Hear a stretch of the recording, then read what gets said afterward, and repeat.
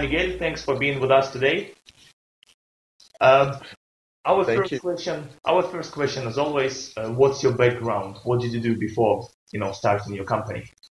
Sure. Um, I started the, studying business management. Um, but before that, I actually studied economics for a year and a half and just didn't like much the course and went away for a while, for a year, and then came back and study business uh, business management. Did like several internships and during the course, and actually in the end of the course, we had the idea to to build a company. Uh, so tell us about the company. How did you guys come up with this idea of shoes and online retail? Yeah, uh, the the thing is, uh, we once we were talking, me and my my business partner, and we were talking about like we are best friends since two years old, and we were talking about this. That I went to a store, I didn't find the shoe that I, the color of the shoe that I wanted, and we started to figure out uh, if we could actually choose the color and not pay a- as expensive as it will be in a, like any other companies that have like custom shoes, or actually uh, the person that have to wait a lot so much longer to get like this customized shoe as well. So we start searching and searching, and uh, two years of research on on how we're gonna do it, and we came up with this idea of the sticker, right? So we have like extra sticker that you can choose what whatever gonna come in your sticker, and then we just handmade glue it in a shoe, and like from we just have our own models and everything, and we come up with this way to to in a shoe and doesn't doesn't go off and doesn't get wet or something, and just looks looks really different from any other shoe that we have. And by the way, how did you come up with the name? Was it hard to choose the name for the company? Yeah, it was wasn't that hard because we, as we wanted and as we do now, we want to create the idea of movement and be like always in movement, always changing the company, always having new products and new ways of doing things. And we just came with the idea of move, like in English, M O V E, but we put it to Portuguese way and put M U V, so move is the same way. Just change the phonetics. Uh, cool. So you guys basically target only Brazilian markets, or you want to expand further? Uh, we would love to expand, but we want to actually still have a good service for our clients. So it's pretty difficult to have good services overseas. So we, we are actually thinking how we're gonna do to sell overseas yet. We don't know for now. Can I ask, since you guys based in Brazil, what's the hardest part, you know, in, in in having your own business in Brazil? Yeah, the hardest part for us is that we have so many taxes for everything, and to to build your own brand of even shoes is hard to to find places that produce in small scale because everyone just export exports everything. Uh, we don't have our like factory of shoes, but we just do the design designer thing of it and it's really hard for us to get to the this this fabric and they can do just small scale for us. And i think the biggest challenge is still the taxes and all the um, how many things you have to pay in here to have your business going. And um, and we are challenged now for the logistics in brazil is pretty tough as well. Like big big distances. And really expensive logistics for trucks and everything. So it's pretty much the two challenges for us now is the taxes and the logistics.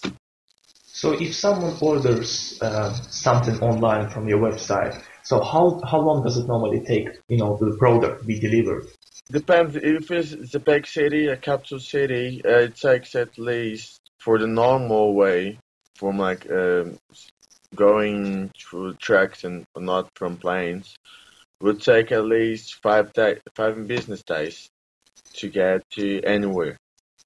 and then you can send like by plane, but it's much more expensive, and this takes like two or the next day or two days only. How how many people currently work in your company, and what's your personal role as well? Yeah, we actually we are four people, and we uh, because we don't have to we don't uh, we we produce for like a person buys a website and then we produce it. We don't have a stock in it, and my role is, is and the other two partners are everything. Come on, if you we go to the events, we go everywhere, and everyone has like all the roles because I am a designer as well. I'm take care of the business.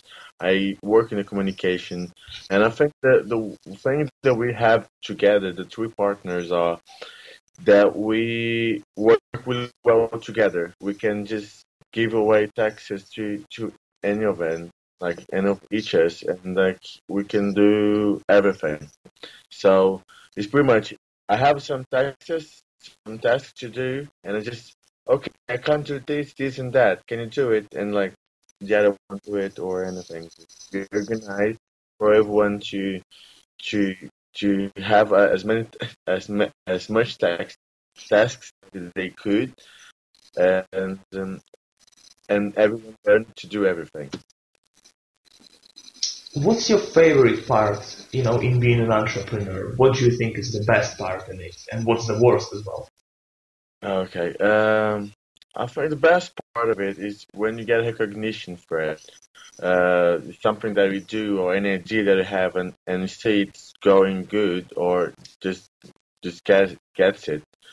Um, the best part of it is you don't have like more you don't have much life anymore right because it's, it's kind of like your son or something or your daughter that you have to raise it and and you've been working like 24 hours a day because you have your phone on and everything and your emails on your phone and everything.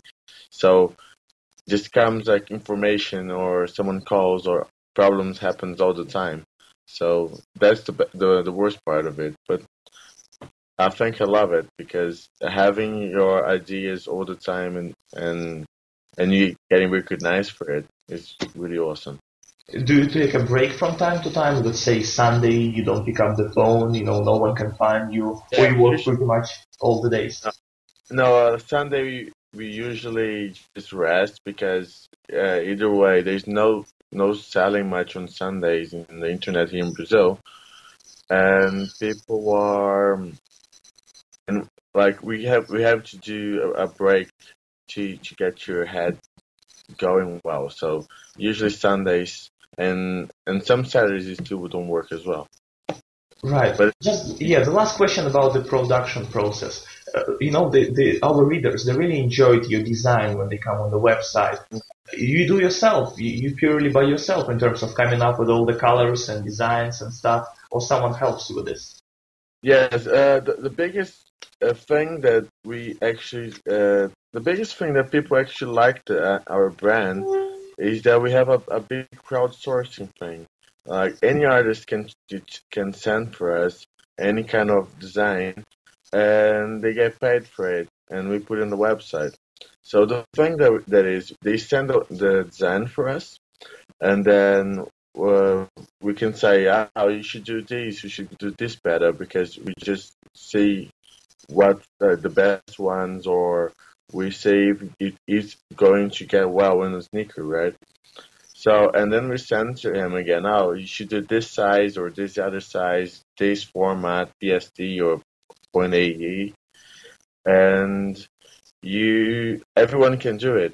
So as soon as you get, you get approved, we put on the website, we have a small profile for each artist and they, they get like 30 ads for each style. So everyone just just kept getting what like they, they get uh, rewards and they have like a shoot with the art on.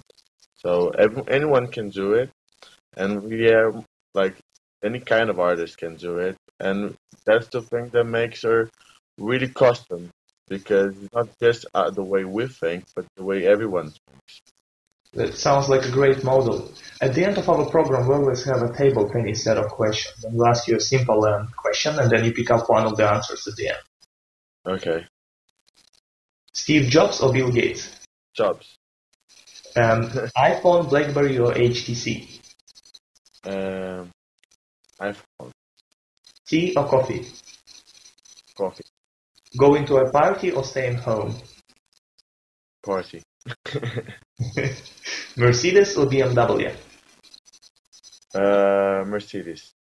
Fruits and vegetables or fast food? Uh, fast food. Egg or chicken, what came first? Uh, egg. Being married or not being married? Not being married. God believer or atheist? Atheist. The very last questions. For those guys who watching you right now and they want to start up their own business, they might have some doubts. What would you advise them? Um, the first advice I gave is focus on your like what you want to do and work really hard and don't give up easily because is you have like a lot of challenges and you're gonna fail a lot of times but anytime you succeed is much better than a fail one. So just try and try and and that's it. Just don't give up. It was miguel marinho from Muv custom shoes from brazil to In2up